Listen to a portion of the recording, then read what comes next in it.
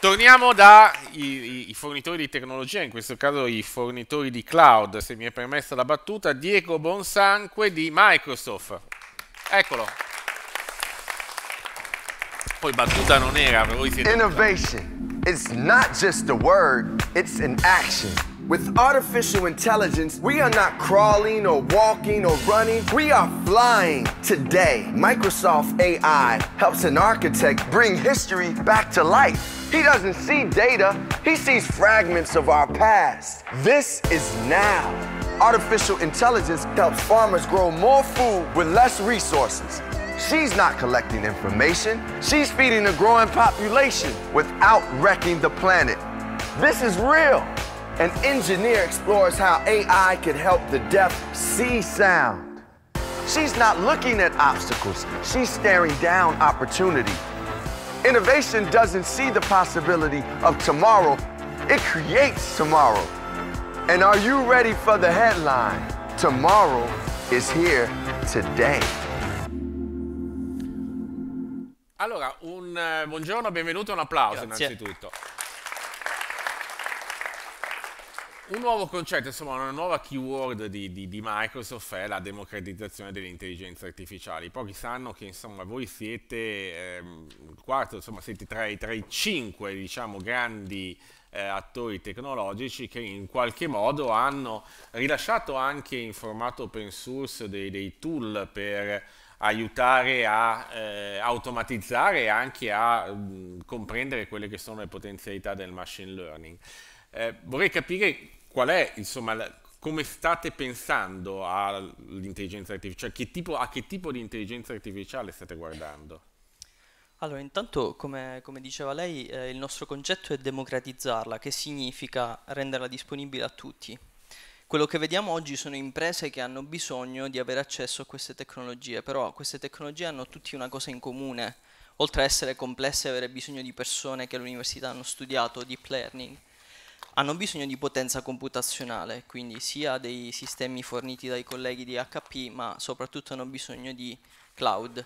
Perché il cloud? Perché ci può dare eh, potenza computazionale, ma soprattutto una piattaforma software dove io posso andare a prototipare una soluzione in maniera veloce. Perché? Perché l'azienda oggi ha bisogno di essere competitiva sul mercato e essere competitiva sul mercato significa oggi ho un'idea, domani devo essere in grado di poterla sviluppare e metterla in piedi, non tra sei mesi o tra un anno perché è troppo tardi. Quindi l'idea di democratizzarla viene innanzitutto dal nostro CEO Satya Nadella. Eh, lui vuole dare una piattaforma con una tecnologia a un costo accessibile e quindi livellare quelle che invece erano le possibilità eh, solo dei, delle grandi aziende di avere dei cluster computazionali che ci consentono di fare qualcosa come computer vision, come diceva eh, il, il, nostro moderatore qui, abbiamo rilasciato una serie di tecnologie in formato open source che fanno, eh, diciamo, vanno a fare una mimica di quelli che sono eh, quello che si propone di fare l'intelligenza artificiale, che è appunto sostituire i sensi umani, ma non sostituirli eh, perché dobbiamo rimpiazzare l'uomo, ma per diciamo, evitare tutti quegli errori che vengono da un'ingenuità o dalla complessità che l'informatica ha introdotto. Mm, mi trovo spesso a parlare con clienti che mi dicono abbiamo un sacco di sistemi informatici e adesso invece io ho più complessità in azienda che non un beneficio e un vantaggio da, uh, dal software. Il software ha introdotto un sacco di benefici ma tanta complessità e tante informazioni che non siamo in grado di gestire in maniera né uniforme né, eh, né in maniera spesso veloce abbastanza. Quindi l'intelligenza artificiale vuole razionalizzare tutti questi processi. Per esempio, voi tutti usate un cellulare, tutti usate l'email, è una perdita di tempo eccessiva.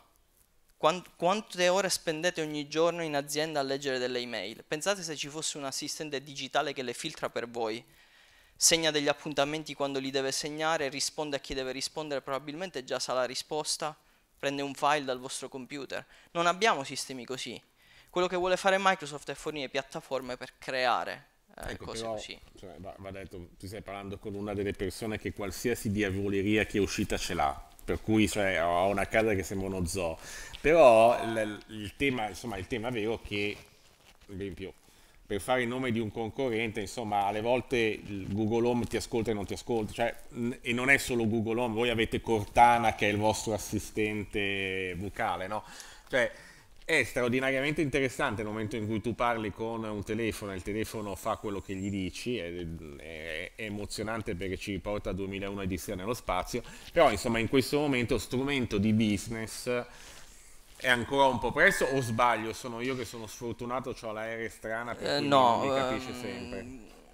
Diciamo che il problema degli assistenti digitali o dei chatbot è, è una realtà, perché eh, ovviamente sono tecnologie complesse perché quello che che si cerca di fare è spiegare a un computer a ragionare come un essere umano e a capire il linguaggio come lo fa un essere umano.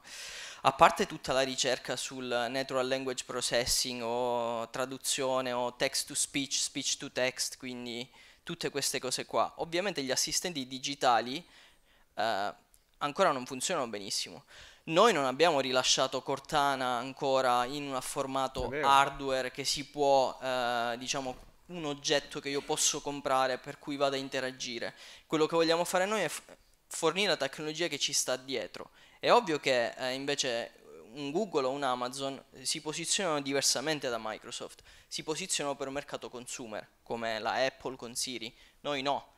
Noi eh, forniamo piattaforme di business per un'azienda. Per, per, per, tradotto, per voi la voce, no? per noi la voce è, è, una, è, non è lo strumento per parlare no. con un oggetto e chiedergli di eseguire delle ricerche, di accendere e spegnere le luci. Voi state creando una, una piattaforma vocale business, quello esatto. che è un po' la, la Uno la degli esempi che possiamo fare, che è un caso italiano noto, è il chatbot che abbiamo fatto per Vodafone. Chiunque di voi ha Vodafone uh, Italia ha un chatbot che si chiama Toby, eh, che è un, alla fine un assistente digitale per customer service a cui potete fare delle domande e eh, risponde, addirittura può riconfigurare il vostro router di casa in automatico, insomma una serie di interazioni evolute. Perché l'avete chiamato? Non l'abbiamo chiamato noi, il nome è di Vodafone, si chiama ah, Toby. Toby. Okay. No, perché poi la cosa divertente è che cioè, se li mettete insieme, perché ci sono poi gli assistenti consumer e gli assistenti aziendali, no? Ecco. E hanno tutti dei nomi che sembrano sì. gli uragani, no? Cioè, c'è Alexa, sembrano, sai, i nomi delle, degli uragani del mondo. Cioè, Toby era praticamente giocoso, non a caso è un CRM sostanzialmente. Esatto.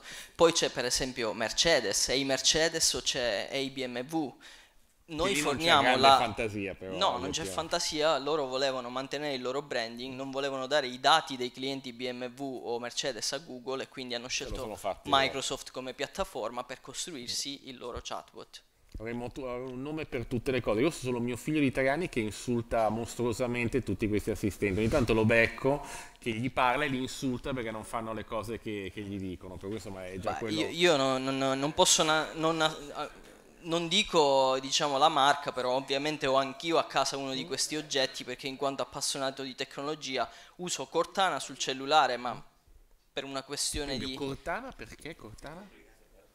No, assolutamente no. Intanto Cortana perché non è disponibile in Italia, quindi se voi provate a scaricarlo dall'Italia no, ancora non è disponibile. Il nome Cortana, cioè ah, il nome cosa... Cortana non, non, ho idea da, da, da dove venga. Effettivamente è un avatar, è, è una donna Cortana. Ma non è quello di Halo?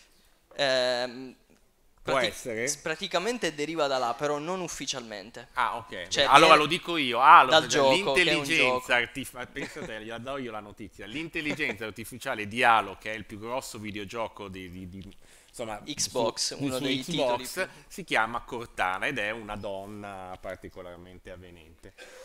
Vedremo poi che avrà una voce femminile o maschile adesso. È, è femmina, mi sembra. Eh, al momento sì. Va bene, grazie. Abbiamo fatto un'analisi non business, ma un'identificazione di loro. Allora,